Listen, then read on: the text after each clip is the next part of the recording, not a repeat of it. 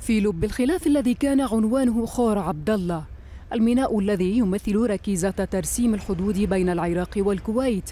بات اليوم عنوان الفرحة العراقية العارمة بعد قرار المحكمة الاتحادية بعدم دستورية تصديق اتفاقية تنظيم الملاحة في خور عبد الله، وعلى الرغم من التقدم الذي أحرز في ترسيم غالبية الحدود البرية بزيارات رسمية بين الجانبين، يقول باحثون إن الحدود البحرية لا تزال تفتقر للترسيم.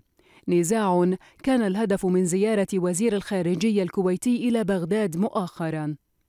تتركز أهمية الخور من الناحية الاستراتيجية للعراق بأنه الممر الحاسم من وارداته وصادراته.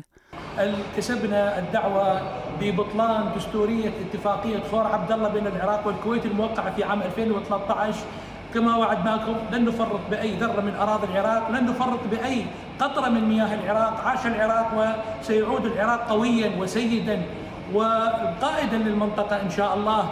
محللون رأوا أن أسلوب الحكومات العراقية المتعاقبة لا يستند في قضايا سيادية وحقوقية إلى الإجماع، لذا فإن تسارع الأحداث كان سمة في ملف الترسيم، والذي تحول من التصدي لإشكالية ترسيم الحدود إلى ملف سياسي مثير للجدل تكشفت فيه أوراق محاولات كما قال النواب بشراء أراض ومساحات عراقية بأموال كويتية.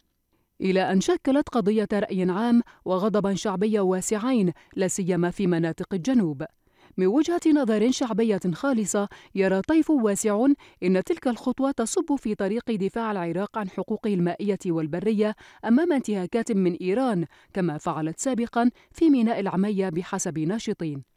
أما من حيث العلاقات العراقية الكويتية وما ينعكس تحديدا على مستقبل ميناء الفاو فإن خبراء يحذرون من محاولات استغلال لتوتر بين البلدين يعيد حسابات استهداف الاقتصاد العراقي أو تأخير إنتاجية مشاريع مهمة للعراق للنهضة بواقعه الاقتصادي والتجاري.